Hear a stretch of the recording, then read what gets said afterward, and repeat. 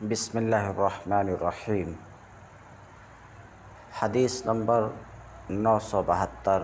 اخبرنا ابو عبداللہ الحافظ۔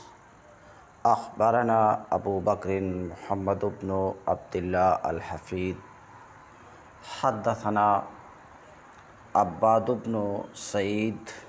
حدثنا محمد بن عثمان بن بہلول۔ حدثنا بہلول۔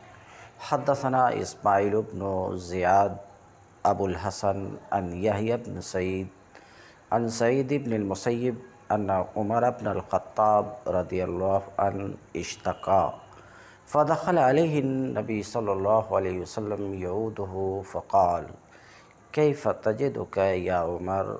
فقال أرجو وأخاف.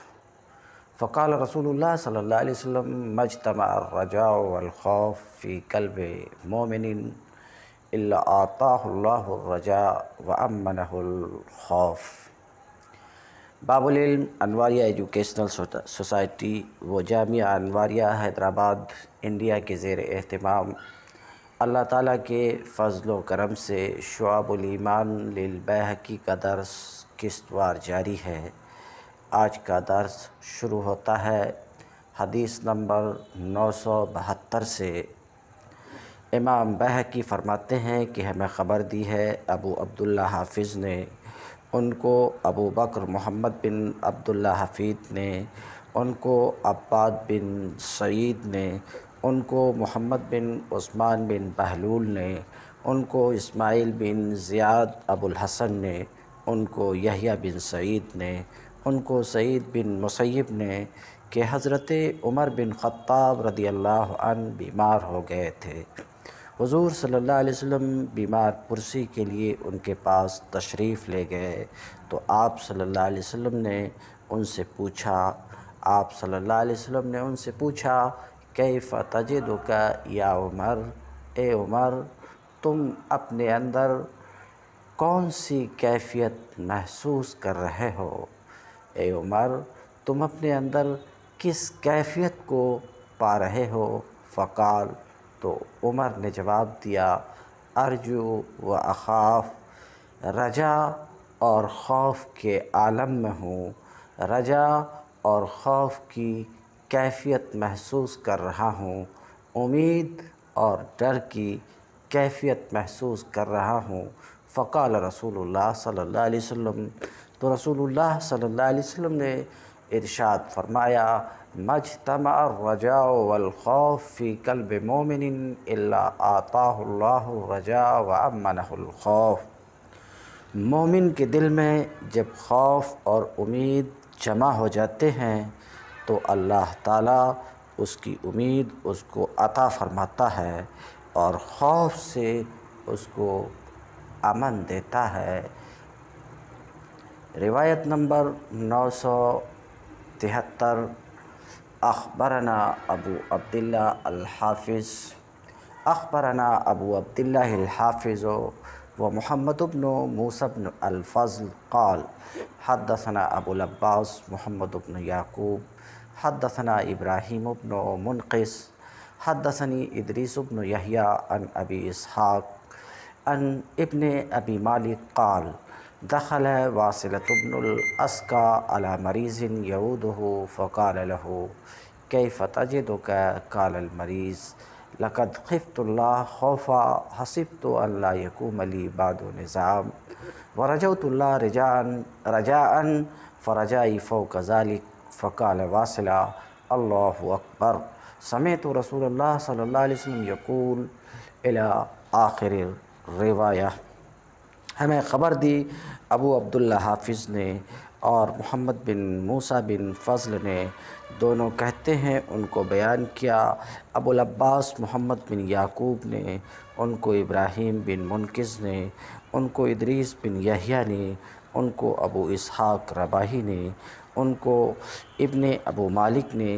وہ فرماتے ہیں کہ حضرت واصلہ بن اسقا ایک مریض کی تیمارداری کے لیے گئے تو اس سے پوچھا، بیمار پرسی کے لیے گئے تو اس سے پوچھا، آپ اپنے آپ کو کیا پا رہے ہیں؟ مریض نے جواب دیا، مریض نے جواب دیا کہ شاید میرے لیے اب کوئی بچنے کی گنجائش نہیں ہے اور اللہ سے امید اتنی کر رہا ہوں کہ میری امید خوف سے بھی بڑی ہے، میری امید خوف سے بھی بڑی ہے۔ حضرت واصلہ بن اسکا رضی اللہ تعالیٰ عنہ نے کہا، اللہ اکبر۔ میں نے رسول اللہ صلی اللہ علیہ وسلم سے سنا تھا، میں نے رسول اللہ صلی اللہ علیہ وسلم سے سنا تھا۔ آپ صلی اللہ علیہ وسلم فرماتے تھے کہ خوف اور امید تقسیم کر دیے گئے ہیں۔ خوف اور امید تقسیم کر دیے گئے ہیں، جس بندے میں یہ جمع ہو جاتے ہیں، وہ جہنم کی بو بھی نہیں پائے گا اور جس بندے میں دنیا میں یہ جمع نہیں ہوتے یعنی یا تو صرف امید ہی امید رکھتا ہے یا صرف خوف ہی خوف رکھتا ہے، وہ جنت کی خوشبو نہیں پائے گا۔ روایت نمبر نو سو چوہتر اخبرنا ابو عبداللہ و محمد بن موسیٰ قال، حدثنا ابو العباس، حدثنا ربیع بن سلیمان حدثنا ایوب بن سوید حدثنی عطبت بن ابی حکیم قال، عاد واصلت بن الاسقا یزید بن الاسود وقد نزل به الموت، فقال یا اخی، کیف تجدک؟ قال، اجدنی ارجو و اخاف، قال له ایہما فی نفسک اکثر؟ قال الرجاء، قال واصلہ، اللہ اکبر. سمیت رسول اللہ صلی اللہ علیہ وسلم یقول، قال اللہ عز وجل انا اند ظن عبدی بی.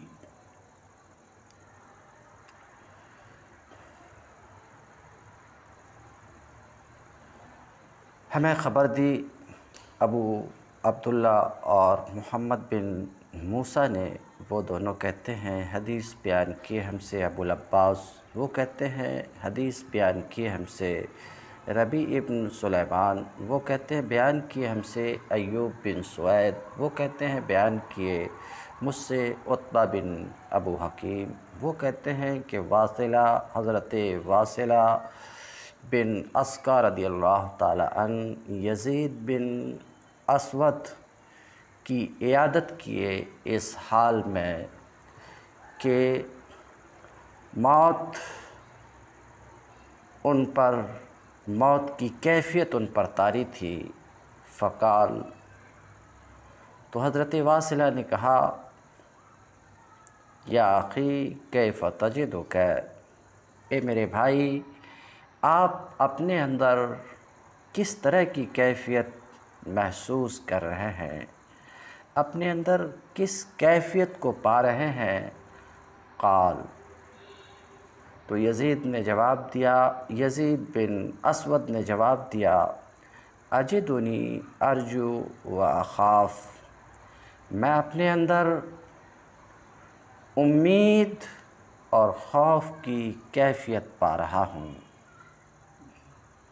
یعنی میں اپنے اندر اس کیفیت کو پا رہا ہوں کہ اللہ کی ذات سے امید کر رہا ہوں کہ اللہ مجھے معاف کر دے گا۔ اور اپنے اندر اس کیفیت کو بھی پا رہا ہوں کہ اللہ سے ڈر بھی رہا ہوں اپنے گناہوں کی بنا پر۔ قال له، ایہما فی نفس کا اکثر دونوں کیفیت میں سے کون سی کیفیت آپ اپنے اندر زیادہ پا رہے ہیں، خوف کی کیفیت زیادہ پا رہے ہیں یا امید کی کیفیت زیادہ پا رہے ہیں؟ قال الرجا یزید بن اسود نے جواب میں کہا، امید کی کیفیت زیادہ پا رہا ہوں۔ اس پر حضرت واصلہ رضی اللہ تعالی عنہ نے نعرہ تکبیر بلند کیا اور کہا، اللہ اکبر۔ میں نے رسول اللہ صلی اللہ علیہ وسلم کو فرماتے ہوئے سنا۔ سمیت رسول اللہ صلی اللہ علیہ وسلم یقول، میں نے رسول اللہ صلی اللہ علیہ وسلم کو فرماتے ہوئے سنا۔ آپ صلی اللہ علیہ وسلم فرما رہے تھے۔ انا ان ضن ابدی بھی اللہ رب العزت فرماتا ہے کہ میں اپنے بندے کے گمان کے قریب ہوں۔ وہ جو میرے ساتھ گمان کرتا ہے، دین اسلام کی عظیم خصلتوں میں سے ایک اہم خصلت اللہ عز و جل کے ساتھ حسن زن رکھنا ہے اچھا گمان رکھنا ہے، کیونکہ یہ عقیدہ توحید کا ایک اہم باب اور خصال ایمان میں سے ایک عظیم خصلت ہے۔ اللہ تعالیٰ اپنے بندے کے ساتھ اس کے حسن زن یا سوء زن کے مطابق معاملہ کرتا ہے۔ اللہ کسی امید لگانے والے کی امید کو ضائع نہیں کرتا ہے، اس لیے اللہ سے ہمیشہ اچھی امید رکھنا چاہیے۔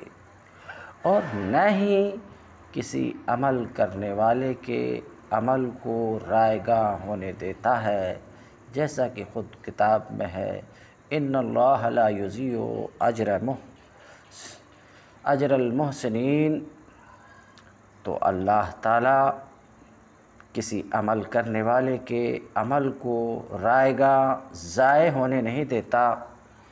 یقیناً کتاب و سنت میں اللہ رب العزت کے ساتھ حسن زن رکھنے کے متعلق بے شمار دلائل موجود ہیں۔ جو دلائل اس عظیم خصلت کے مقام و مرتبہ کے ساتھ اس سے دنیا و آخرت میں حاصل ہونے والے ثمرات کو بیان کرتی ہیں۔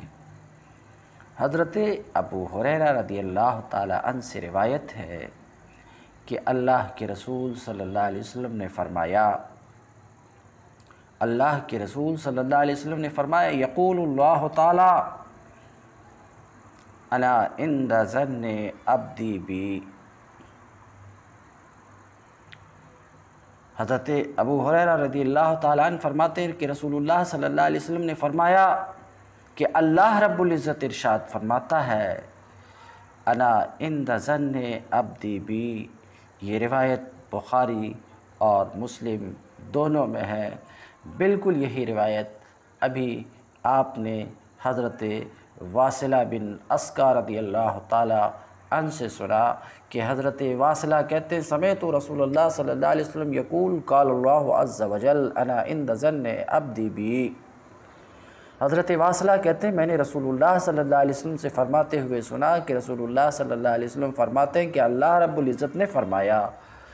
تو یہ یہ روایت حضرت واصلہ بن اسکا سے بھی ہے، جس کو امام بحقی نے جس کی تخریج کی ہے۔ اسی طریقے سے یہ روایت بخاری اور مسلم میں حضرت ابو حریرہ سے ہے۔ حضرت ابو حریرہ رضی اللہ تعالی عنہ سے ہے۔ کہ رسول اللہ صلی اللہ علیہ وسلم نے فرمایا، یقول اللہ تعالی، انا ان ظن عبدی بھی اللہ تعالیٰ فرماتا ہے کہ میں اپنے بندے کے گمان کے ساتھ ہوں۔ حضرت واصلہ بن اسکا رضی اللہ تعالیٰ عنہ سے روایت ہے کہ اللہ کے رسول صلی اللہ علیہ وسلم نے فرمایا، قال اللہ عز وجل، انا ان ظن ان ظن عبدی بھی فل یزن بھی ما شاء۔ اللہ تعالیٰ فرماتا ہے کہ میں اپنے بندے کے گمان کے ساتھ ہوں، تو وہ جیسا چاہے میرے ساتھ گمان کرے۔ جیسا چاہے میرے ساتھ گمان کرے۔ ابو حریرہ حضرت ابو حریرہ رضی اللہ تعالیٰ عنہ نے فرمایا کہ اللہ کے رسول صلی اللہ علیہ وسلم نے فرمایا، قال اللہ عز و جل انا ان ظن عبدی بی، ان ظن بی خیرن فلہ و ان ظن شرن فلہ اللہ تعالیٰ فرماتا ہے کہ میں اپنے بندے کے گمان کے ساتھ ہوں۔ اگر اس نے میرے ساتھ حسن زن رکھا، اگر اس نے میرے ساتھ حسن زن رکھا، تو اس کے لیے، اس کے لیے ہے۔ اور اگر بدگمانی کی، تو وہ اس کے لیے ہے۔ یعنی بندہ اپنے رب کے ساتھ جیسا زن وہ گمان رکھتا ہے، اس کے ساتھ ویسا ہی معاملہ ہوگا۔ اگر بندہ اپنے رب سے خیر، بھلائی، مغفرت، قبول توبہ اور بلندی درجات کے متعلق زن رکھتا ہے تو ایسا ہی ہوگا۔ اور اگر اس کے برعکس زن رکھتا ہے تو اس کے ساتھ اس کا رب اس کے زن کے مطابق معاملہ کرتا ہے۔ اللہ کے ساتھ حسن زن رکھنے کی اہمیت کو اگر جاننا ہے تو ہم اور آپ اللہ کے رسول صلی اللہ علیہ وسلم کی حیات مبارکہ کا مطالعہ کریں، حیات مبارکہ کا مطالعہ کریں اور دیکھیں کہ آپ صلی اللہ علیہ وسلم نے ہمارے لیے اس باب میں کتنا عظیم نمونہ چھوڑا ہے۔ چنانچہ آپ صلی اللہ علیہ وسلم اپنی امت کو اس بات سے آگاہ کرتے ہوئے اپنی وفات سے تین دن پہلے وصیت فرمائی تھی۔ ان جابر رضی اللہ عنہ قال سمیت رسول اللہ صلی اللہ علیہ وسلم قبل وفاته بثلاث یقول لا يموتن احدكم الا وهو يحسن بالله الظن. یہ روایت مسلم میں ہے۔ تم میں سے ہرگز ہرگز کسی کی موت نہ ہو، مگر وہ اللہ کے ساتھ حسن زن رکھتا ہو۔ سامعین بے شک اللہ کے ساتھ حسن زن مبنی ہے اللہ تعالیٰ کی ذات، اس کے اسما و صفات، اس کی عظمت جلال اور کمال قدرت کی معرفت پر، اور اس کے فضل کے عام ہونے اور اس کی وسعت رحمت کی معرفت پر، کیونکہ جیسے جیسے مومن کے دل میں، اس کے رب کی معرفت میں زیادتی ہوگی، اس کا حسن زن اس کے رب کے ساتھ بڑھتا جائے گا۔ ایسے ہی ایسے ہی ایسے ہی حسن زن مبنی ہے۔ بندے کے اعمال صالحہ پر، کیونکہ اگر اعمال اچھے نہ ہوں، تو یہ بندے کو اس کے رب کے ساتھ حسن زن سے روک دیتا ہے۔ جیسا کہ حضرت امام حسن بصری رحمۃ اللہ علیہ فرماتے ہیں، ان المومن احسن زن باللہ فاحسن العمل و ان الفاجر اسا الزن باللہ فاسا العمل. بے شک مومن جب اللہ کے ساتھ حسن زن رکھتا ہے تو احسن عمل کرتا ہے اور اگر اللہ کے ساتھ بدگمانی رکھتا ہے تو برے فاجر اللہ کے ساتھ بدگمانی رکھتا ہے تو برے اعمال کرتا ہے۔ ہر مومن جو اپنے نفس کی خیر خواہی کا ارادہ رکھتا ہے، اسے چاہیے کہ اعمال صالحہ، اچھے اعمال کی ادائیگی میں جلدی کرے، جیسا کہ اللہ تعالیٰ کا ارشاد ہے۔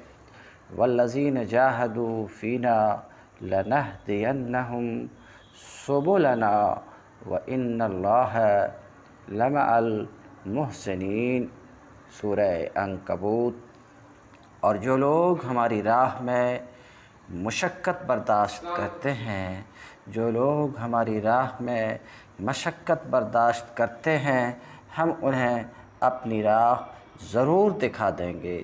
یقیناً اللہ تعالیٰ نیک کاروں نیک کاروں کا ساتھی ہے۔ سامعین کرام، اللہ تعالیٰ کے ساتھ بدگمانی بہت ہی عظیم گناہ ہے۔ اور دنیا و آخرت کو تباہ کرنے والا ہے۔ اللہ تعالیٰ نے شرک کے بعد اس گناہ پر سب سے سخت وعید سنائی ہے۔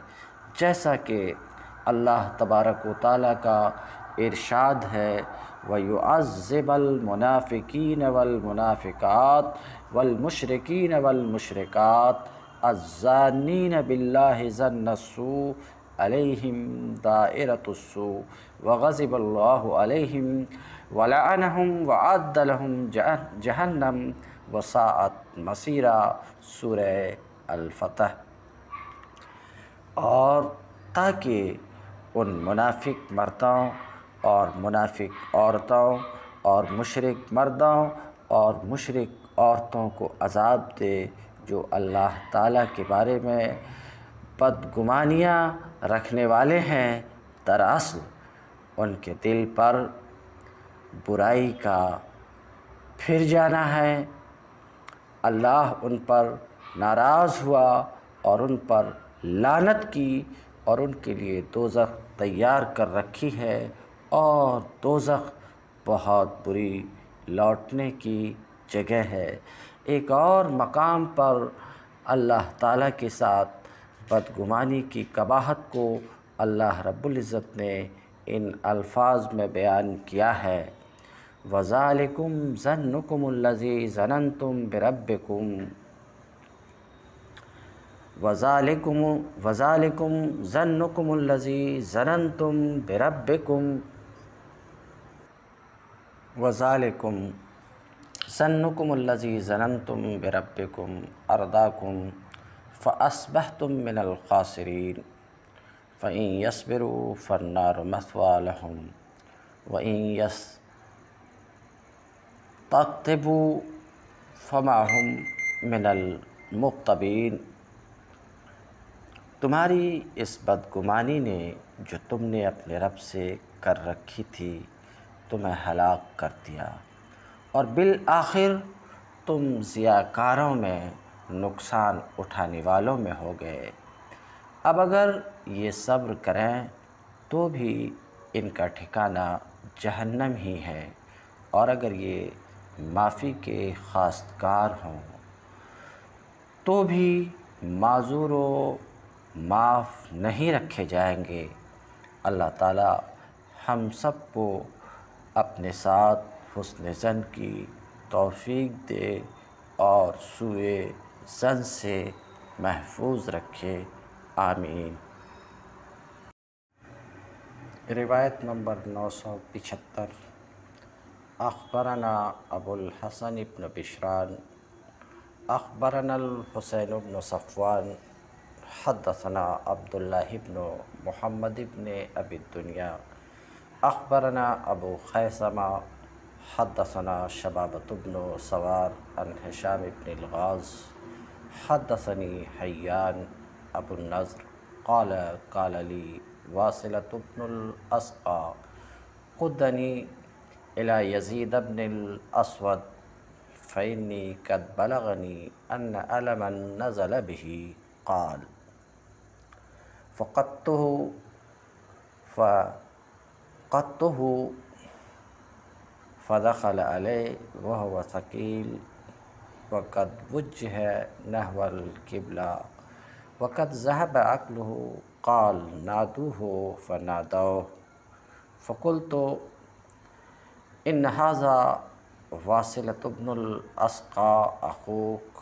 قال فأبقى الله من عقله أن سمع أن واصلة قد جاء. قد جاء، فمد يده فجعل يلتمس به إلى آخر الرواية ہمیں خبر دی ابو الحسین بن بشران نے، ان کو حسین بن صفوان نے، ان کو عبداللہ بن محمد بن ابو دنیا نے، ان کو ابو خیسمہ نے، ان کو شبابہ بن سوار نے، ان کو حشام ابن غاز نے، ان کو حیان ابو النصر نظر نے فرماتے ہیں کہ مجھے واصلہ بن اسقا رضی اللہ عنہ نے فرمایا کہ مجھے یزید بن اسود کے پاس لے کر چلو۔ مجھے خبر ملی ہے کہ ان کو تکلیف ہے۔ حیان کہتے ہیں کہ میں حضرت واصلہ رضی اللہ عنہ کو لے کر گیا، ان کے پاس پہنچے تو وہ لاچار ہو چکے تھے۔ ان کا منہ قبلہ کی طرف کر دیا گیا تھا اور ان کی عقل بھی زائل ہو چکی تھی۔ حضرت واصلہ نے فرمایا کہ اس کو یعنی یزید بن اسود کو آواز دو۔ گھر والوں نے ان کو آواز دی اور میں نے کہا، یہ دیکھیے، حضرت واصلہ رضی اللہ تعالی عنہ، آپ کے بھائی، آپ کو ملنے آئے ہیں۔ حیان کہتے ہیں کہ اللہ نے ان کو اتنی عقل اتنی عقل سلامت رکھی تھی۔ اللہ نے ان کی اتنی عقل سلامت رکھی تھی کہ انہوں نے سن لیا کہ حضرت واصلہ آ گئے ہیں۔ حضرت واصلہ نے اپنا ہاتھ آگے بڑھایا اور اس کے ہاتھ میں کچھ ڈھونڈ رہے تھے۔ میں سمجھ گیا کہ کیا چاہ رہے ہیں۔ لہٰذا میں نے حضرت واصلہ کا ہاتھ پکڑ کر مریض کے ہاتھ میں دے دیا۔ یزید بن اسود چاہ رہے تھے کہ وہ حضرت واصلہ کا ہاتھ اپنے ہاتھ میں لے لیں اور رکھ لیں۔ اس لیے کہ حضرت واصلہ نے اپنا ہاتھ رسول اللہ صلی اللہ علیہ وسلم کے ہاتھ میں رکھا تھا، قربان جائیے۔ رسول اللہ صلی اللہ علیہ وسلم سے کس قدر محبت ہی قربان جائیے۔ اس ہاتھ کو چھونے کے لیے بے قرار تھے مرض الموت کے عالم میں، جس ہاتھ میں رسول اللہ صلی اللہ علیہ وسلم کے ہاتھ پر بیعت کی تھی۔ تو پتہ چلا، بزرگوں کے تبرکات سے برکت حاصل کرنا یہ بزرگوں کا عمل ہے۔ بہرحال، حضرت واصلہ نے اپنا ہاتھ رسول اللہ صلی اللہ علیہ وسلم کے ہاتھ میں رکھا تھا۔ یزید بن اسود ایک بار حضرت واصلہ کے ہاتھ کو اپنے سینے پر رکھتے، تو دوسری بار اپنے چہرے پر اور کبھی اپنے منہ منہ پر ان کے ہاتھ کو رکھتے۔ اتنے میں حضرت واصلہ نے ان سے پوچھا کہ کیا آپ مجھے یہ بتائیں گے کہ آپ اللہ تعالیٰ کے ساتھ کیا گمان لے کر جا رہے ہیں۔ انہوں نے جواب دیا، میرے گناہوں نے تو مجھے عاجز کر دیا ہے۔ انہوں نے جواب دیا کہ میرے گناہوں نے تو مجھے عاجز کر دیا ہے۔ میں ہلاکت کے کنارے پر اتر چکا ہوں۔ میں تباہی کے کنارے پر اتر چکا ہوں۔ لیکن میں اللہ کی رحمت کی امید رکھتا ہوں۔ ولیکن ارجو رحمت اللہ، فکبر واصلہ وکبر اہل البیت بتکبیر ہی۔ لیکن میں اللہ کی رحمت کی امید رکھتا ہوں۔ چنانچہ حضرت واصلہ نے نعرہ تکبیر بلند کیا۔ یزید بن نعرہ تکبیر بلند کیا اور ان کے گھر والوں نے بھی ان نعرہ تکبیر بلند کیا۔ حضرت واصلہ نے فرمایا، اللہ اکبر، میں نے رسول اللہ صلی اللہ علیہ وسلم سے سنا تھا۔ آپ صلی اللہ علیہ وسلم فرماتے تھے، یقول اللہ عز و جل انا ان ظن عبدی بی فلیظن بی ما شاء۔ اللہ رب العزت ارشاد فرماتا ہے، میں اپنے بندے کے میرے ساتھ گمان کے پاس ہوں۔ اسے چاہیے کہ میرے ساتھ جو چاہے گمان رکھ لے۔ روایت نمبر نو سو چھہتر۔ اخبرنا ابو الحسین ابن بشران۔ اخبرنا الحسین ابن صفوان۔ حدثنا عبد الله بن محمد بن أبي الدنيا. حدثنا عمرو بن محمد. حدثنا خلف بن خليفة.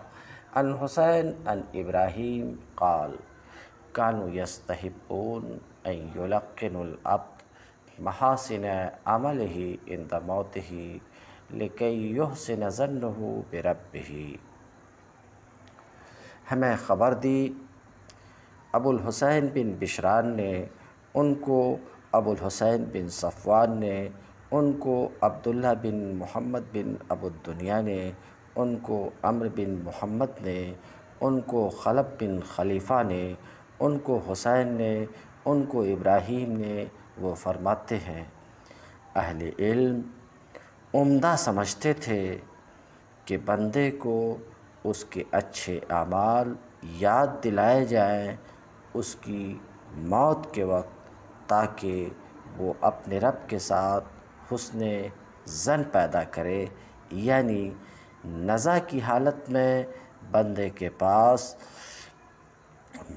بندے کے پاس اس کے اچھے عمل کو ذکر کیا جانا چاہیے تاکہ وہ اپنے رب کے ساتھ حسن زن لے کر ملے اور جیسا کہ آپ سماعت فرما چکے کہ اللہ رب العزت خود ارشاد فرماتا ہے، بندہ مجھ سے جیسا گمان رکھتا ہے، میں اس کے ساتھ ویسا ہی برتاؤ کرتا ہوں۔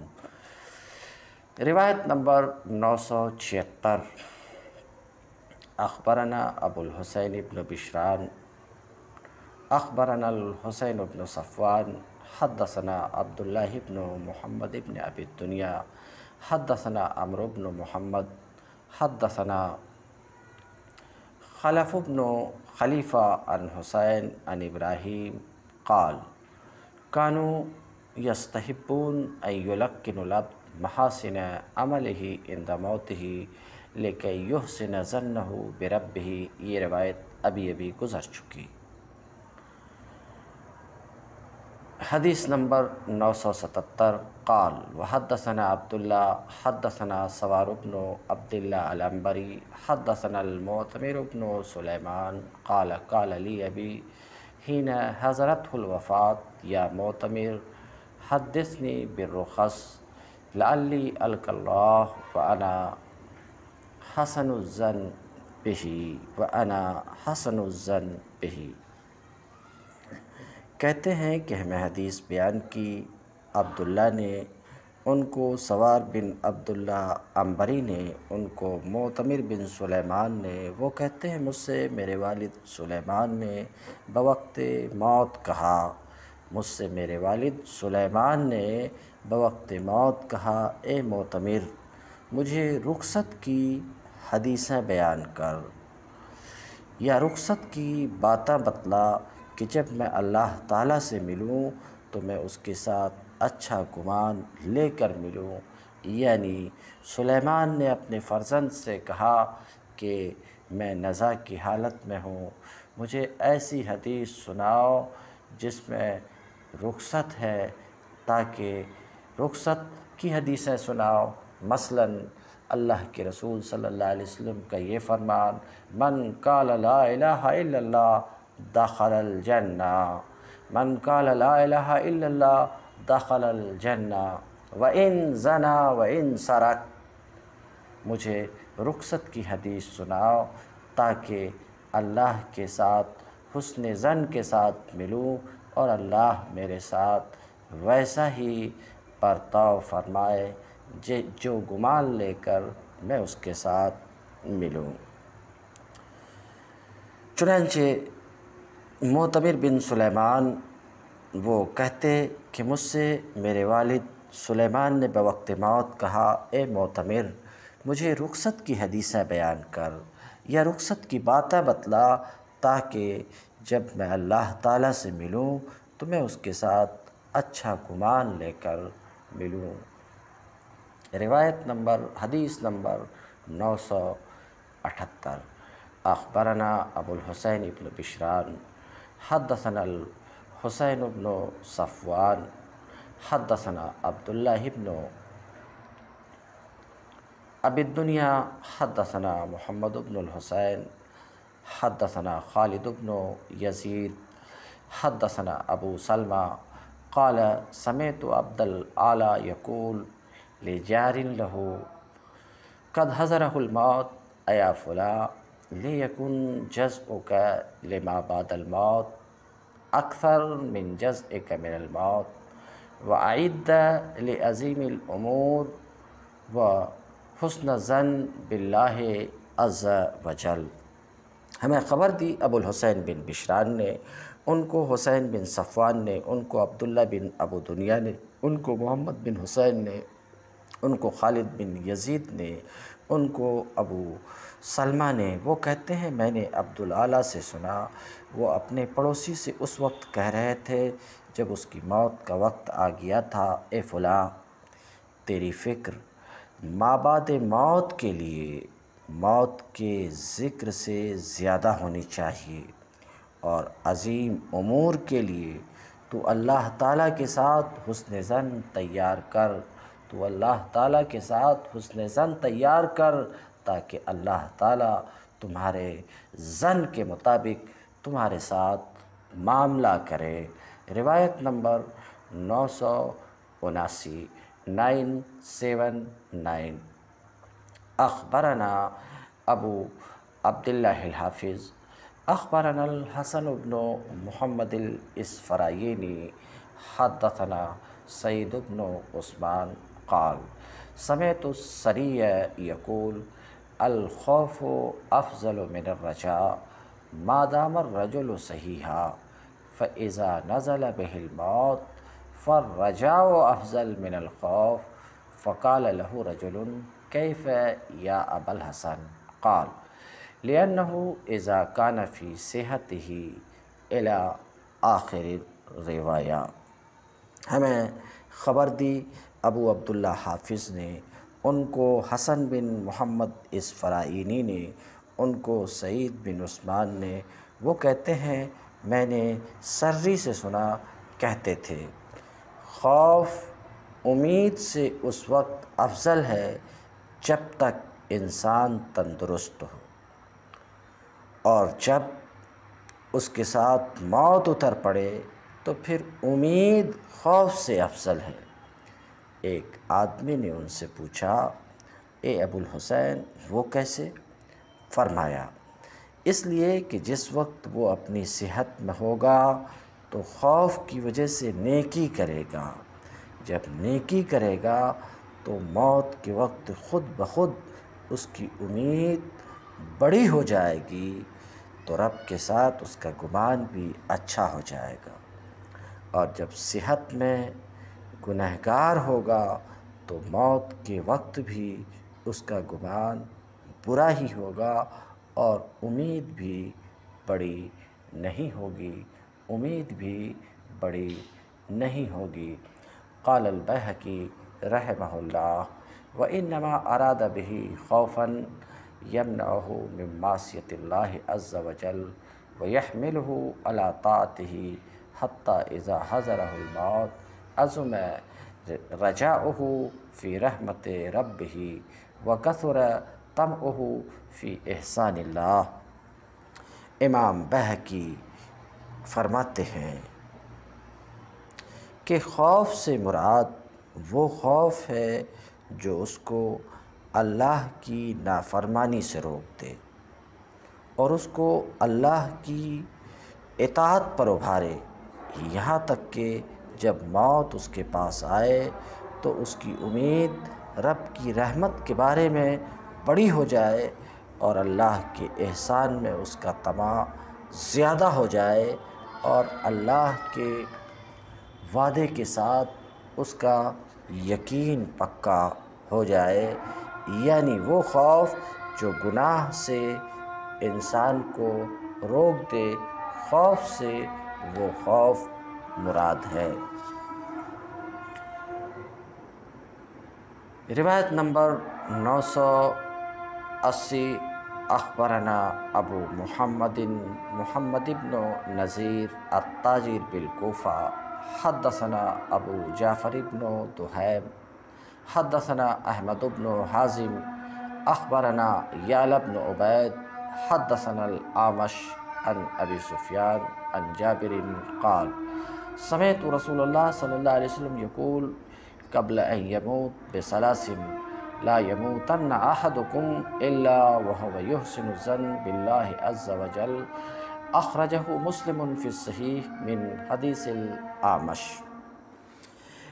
ہمیں خبر دی ابو محمد ابن نذیر تاجر نے کوفے میں، ان کو ابو جعفر بن دحیم نے، ان کو احمد بن حازم نے ان کو یالا بن عبید نے، ان کو آمش نے، ان کو سفیان نے، ان کو جابر نے کہتے ہیں، میں نے رسول اللہ صلی اللہ علیہ وسلم سے سنا، آپ اپنی وفات سے تین روز قبل فرما رہے تھے، لا يموتن احدکم الا وهو يحسن زن باللہ، تم لوگوں میں سے جو بھی وفات پائے، وہ اللہ کے ساتھ اچھا گمان لے کر ہی وفات پائے، جیسا کہ حسن زن کی فضیلت پر ابھی تھوڑی دیر پہلے گفتگو ہوئی اور حسن زن کے فضیلت میں ڈھیر ساری روایات موجود ہیں۔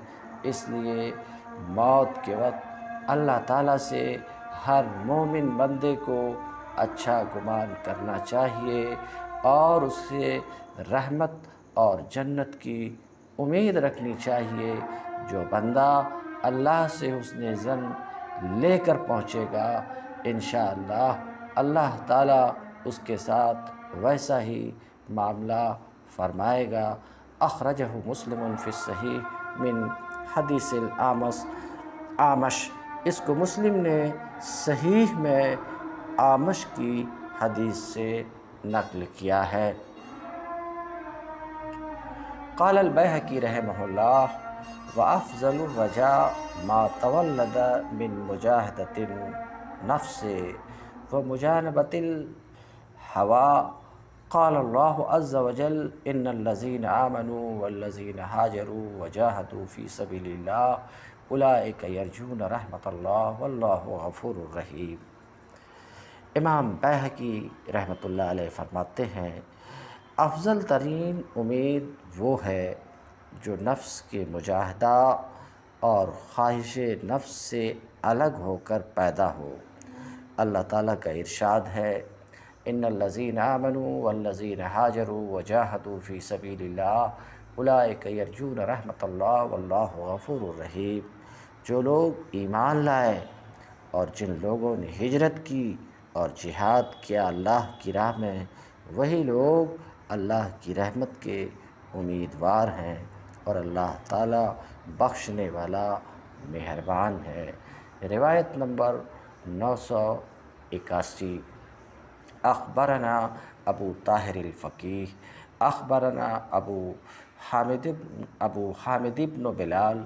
حدثنا محمد ابن یحییٰ حدثنا حشام ابن عمار، حدثنا سوید، حدثنا ثابت ابن اجلان ان سلیم ابن عامر قال سمیت ابا حریرہ یقول، قال رسول اللہ صلی اللہ علیہ وسلم، یا ایوہ الناس احسن الزن برب العالمین، فإن الرب عند زن عبدہ ہمیں خبر دی، ابو طاہر فقیح نے ان کو ابو حامد بلال نے ان کو محمد بن یحییٰ نے، ان کو حشام بن عمارہ نے، ان کو سوید نے، ان کو ثابت بن اجلان نے، ان کو سلیم بن عامر نے۔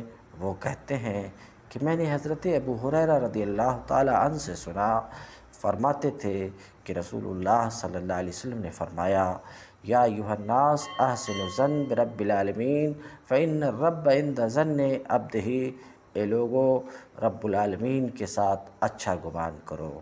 بے شک رب تعالیٰ اپنے بندے کے گمان کے پاس ہے۔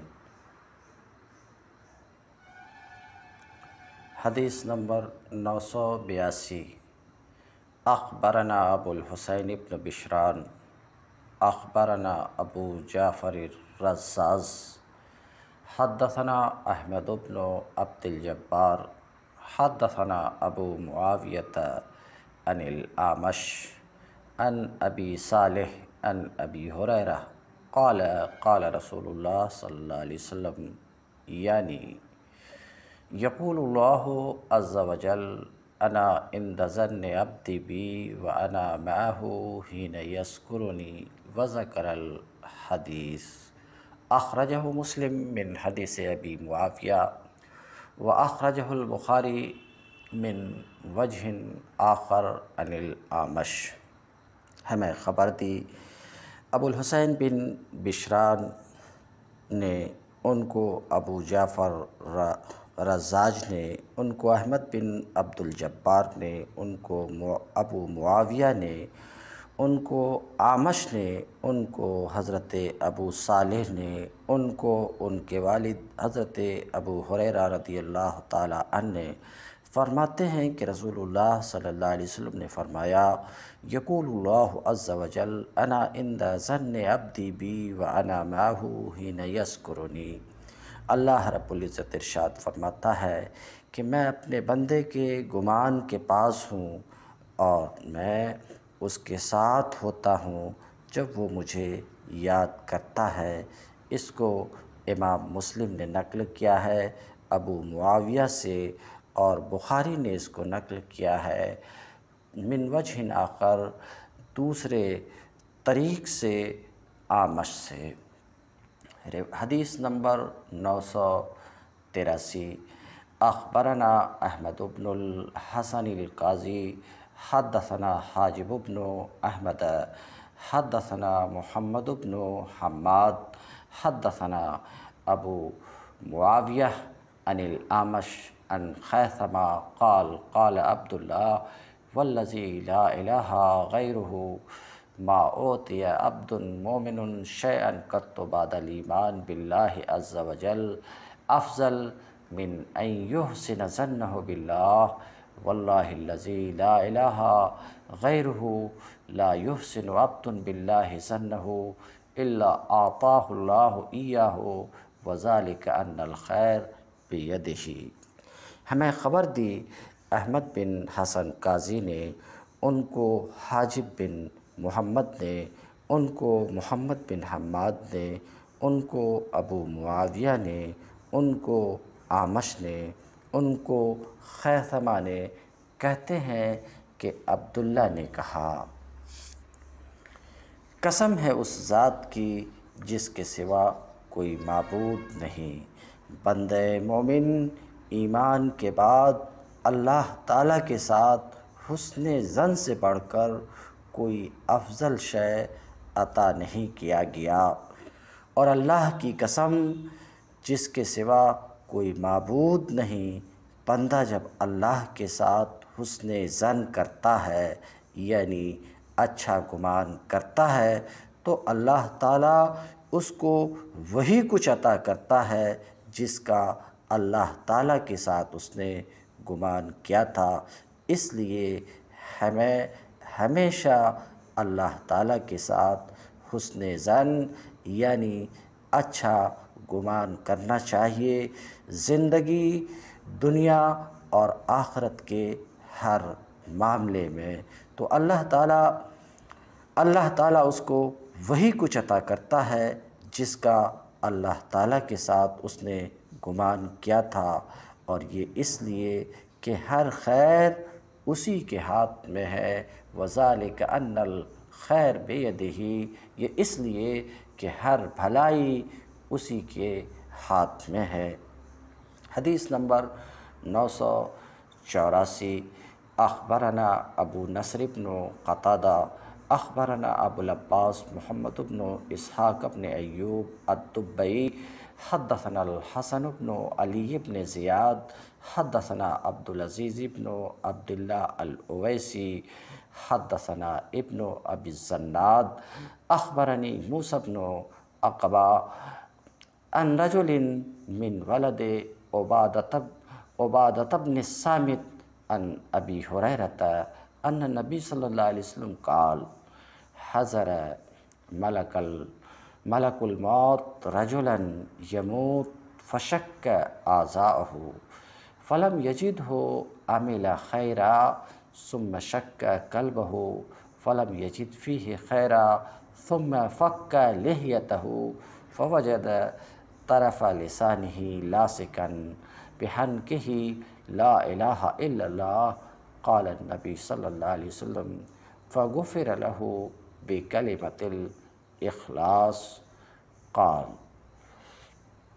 ہمیں خبر دی، ابو نصر بن قطادہ نے ان کو ابو العباس، محمد بن اسحاق بن ایوب دبئی نے، ان کو حسن بن علی بن زیاد نے ان کو عبدالعزیز بن عبداللہ اویسی نے، ان کو ابو الزناد نے، ان کو موسیٰ بن عقبہ نے، اولاد عبادہ بن سامت کے ایک آدمی سے ان کو حضرت ابو حریرہ رضی اللہ تعالیٰ عنہ نے کہ نبی کریم صلی اللہ علیہ وسلم نے فرمایا کہ ملک الموت ایک آدمی کے پاس موت لے کر آیا۔ اس کے تمام اعضاء کو چیرا تو اسے ان میں کوئی خیر کا عمل نہ ملا۔ یعنی اس بندے میں کوئی بھلائی اس کو دکھائی نہیں دی۔ جو اس نے کیا ہو، اس کے بعد اس نے اس کے دل کو چیرا تو اس میں بھی اس نے کوئی بھی خیر نہ پائی۔ پھر اس نے اس کے دونوں جبڑے توڑ کر دیکھا تو اس نے اس کی زبان تالوؤں سے لگی ہوئی پائی جو کہہ رہی تھی، لا الہ الا اللہ۔ نبی کریم صلی اللہ علیہ وسلم نے فرمایا، اسی کلمہ اخلاص کے ساتھ اس کی مغفرت کر دی گئی۔ اسی کلمہ اخلاص کے ساتھ اس کی مغفرت کر دی گئی۔ حضرت ابو حریرہ فرماتے ہیں کہ رسول اللہ صلی اللہ علیہ وسلم نے فرمایا، اللہ عز و جل نے ایک بندے کو جہنم میں ڈالنے کا حکم دیا۔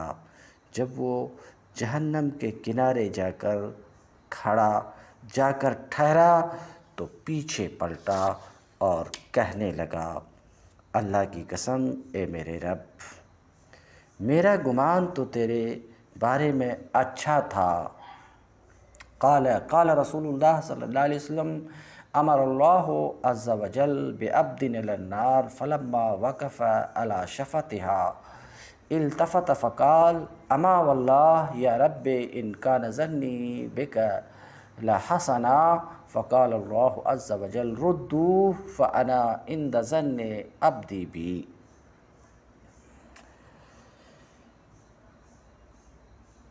اللہ عز و جل نے ایک بندے کو جہنم میں ڈالنے کا حکم دیا۔ جب وہ جہنم کے کنارے جا کر ٹھہرا تو پیچھے پلٹا اور کہنے لگا، اللہ کی قسم، اے میرے رب، میرا گمان تو تیرے بارے میں اچھا تھا۔ اللہ عز و جل نے فرمایا، اس کو واپس لاؤ۔ میں اپنے بندے کے، میرے گمان کے پاس ہوں۔ میں اپنے بندے کے، میرے گمان کے پاس ہوں۔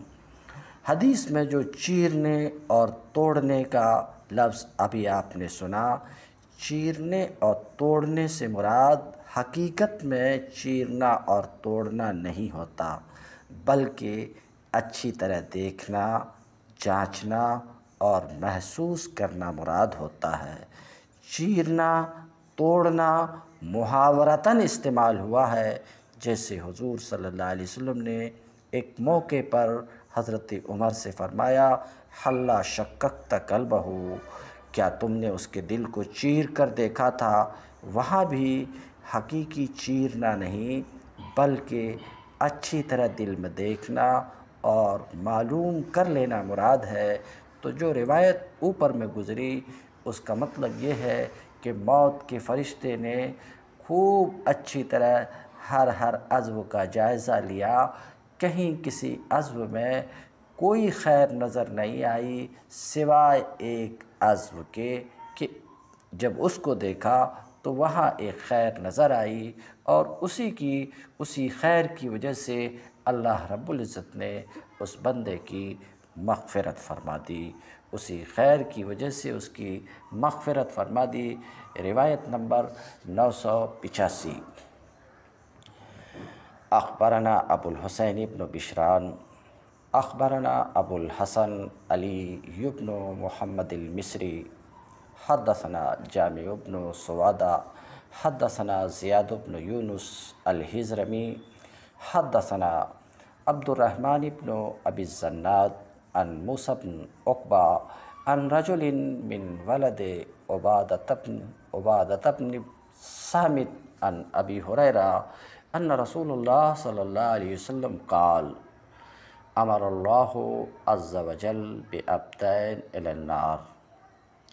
فلما وقف أحدهما على شفتها التفت فقال أما والله إن كان ظني بي لحسنا۔ فقال الله عز وجل ردوه فأنا عند ظن عبدي بي فغفر له۔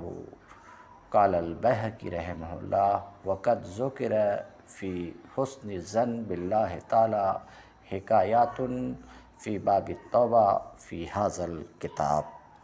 ہمیں خبر دی ابو الحسین بن بشران نے، ان کو ابو الحسین بن علی بن محمد مصری نے، ان کو جامع بن سودا نے، ان کو زیاد بن یونس حضرمی نے، ان کو عبد الرحمن بن ابو زناد نے، ان کو موسیٰ نے، ان کو ایک آدمی نے، اولاد عبادہ بن ثابت رضی اللہ تعالیٰ عنہ سے، ان کو حضرت ابو حریرہ رضی اللہ تعالیٰ عنہ نے کہ رسول اللہ صلی اللہ علیہ وسلم نے فرمایا کہ اللہ تعالیٰ نے دو بندوں کو جہنم میں جانے کا حکم دیا۔ جب ایک ان میں سے جہنم کے کنارے پر جا پہنچا تو پلٹ کر عرض کیا، اے اللہ پاک، میرا گمان تو تیرے ساتھ نیک تھا۔ اللہ تعالیٰ نے فرمایا، واپس کرو اس کو۔ میں اپنے بندے کے میرے ساتھ گمان کے نزدیک ہوں، لہٰذا اللہ تعالیٰ نے اس کو بخش دیا۔ امام بہکی رحمۃ اللہ علیہ نے فرمایا، اور اللہ کے ساتھ حسن زن کے بارے میں، اس کتاب کے باب التوبہ میں کئی حکایات مذکور ہیں جو میں نے بیان کیا ہے۔ ابو عبد الرحمن سلمی پر ان کو عبداللہ، انہوں نے فرمایا کہ لوگ تین قسم کے ہیں۔ انہوں نے فرمایا کہ لوگ تین قسم کے ہیں۔ اول وہ آدمی، انہوں نے فرمایا، الرجال ثلاثہ، رجل عمل حسنا فہو یرجو ثوابها ورجل عمل سیئتا ثم تاب وہ فهو يرجو المغفرة. والثالث الرجل الكذاب يتمادى في الذنوب ويقول أرجو المغفرة. ومن عرف نفسه بالإساءة ينبغي أن يكون خوفه غالبا على رجائه. لوگ تین طرح کے ہیں۔ نمبر ایک، وہ آدمی جو نیکی کا کام کرتا ہے اور وہ اس نیکی پر ثواب کی امید کرتا ہے۔ نمبر دو، وہ آدمی جو گناہ کا کام کرتا ہے اور پھر توبہ کرتا ہے اور وہ مغفرت کی امید رکھتا ہے، توبہ کرتا ہے اور وہ مغفرت کی امید کرتا ہے۔ نمبر تین، جھوٹا آدمی جو گناہوں میں سرکشی کرتا ہے اور کہتا ہے کہ میں مغفرت کی امید رکھتا ہوں، اور وہ شخص جو پہچانتا ہے اپنے نفس کو برائی کے ساتھ، وہ اور وہ شخص جو پہچانتا ہے اپنے نفس کو برائی کے ساتھ مناسب ہے کہ اس کی امید پر غالب ہو یعنی خوف اس کی امید پر غالب ہونا چاہیے اس شخص کے لیے جو جانتا ہے کہ وہ برا ہے، برائی کا کرنے والا ہے۔ روایت نمبر نو سو چھیاسی، وحدثنا ابو عبد الرحمن السلمی حدثنا ابو جعفر محمد ابن احمد ابن سعید الرازی یقول، سمیت العباس ابن حمزہ، حدثنا احمد ابن ابی الحواری، قال، سمیت ابا سلیمان الدارانی یقول، اذا غلب الرجاء علی الخوف فسد القلب۔ ہمیں حدیث بیان کی، ابو عبد الرحمن سلمی نے ان کو ابو جعفر محمد بن احمد سعید راضی نے، ان کو عباس بن حمزہ نے، ان کو احمد بن ابو الحواری نے، انہوں نے سنا ابو سلیمان دارانی سے وہ کہتے ہیں کہ جب خوف پر امید غالب آ جائے تو دل خراب ہو جاتا ہے، جب خوف پر جب خوف پر امید غالب آ جائے تو دل خراب ہو جاتا ہے یعنی اللہ تعالیٰ کا خوف غالب ہو حسن زن پر۔ حسن زن پر اللہ کے خوف کو غالب ہونا چاہیے اور ماسبت میں یہ بات گزر چکی، خصوصاً صحت کی حالت میں۔ اللہ تعالیٰ کے خوف کو حسن زن پر غالب ہونا چاہیے۔ روایت نمبر نو سو ستاسی۔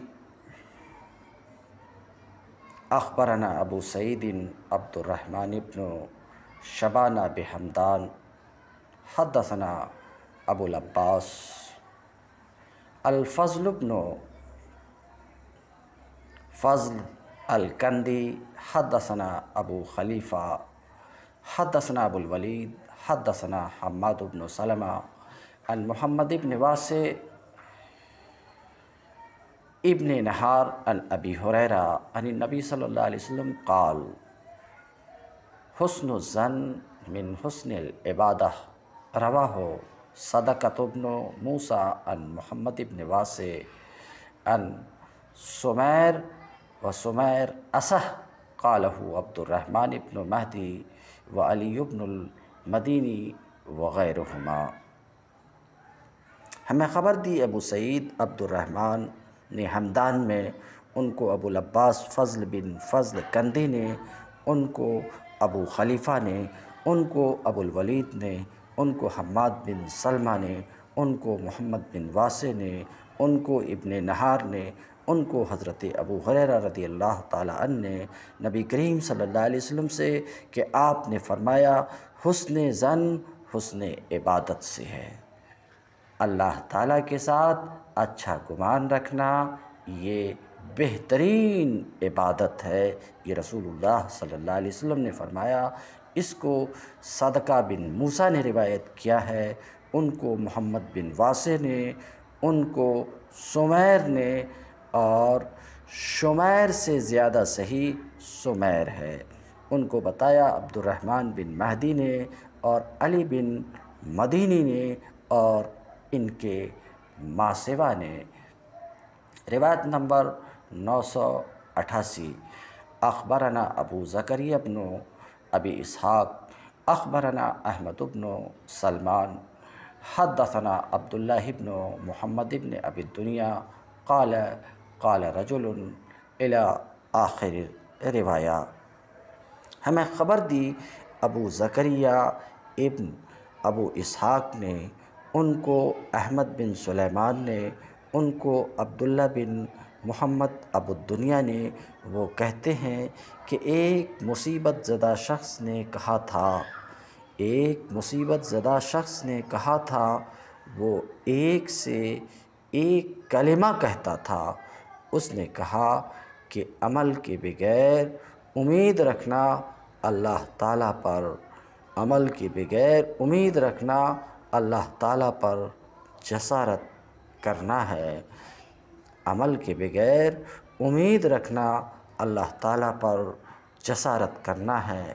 تو وہ جو اللہ سے اچھی امید رکھتا ہے، وہ جو اللہ سے اچھی امید رکھتا ہے اسے اچھا عمل بھی کرنا چاہیے اچھا کام بھی کرنا چاہیے۔ اللہ تعالی ہم سب کو اللہ کے ساتھ اچھا گمان رکھنے کی توفیق دے اور اچھا عمل کرنے کی توفیق دے۔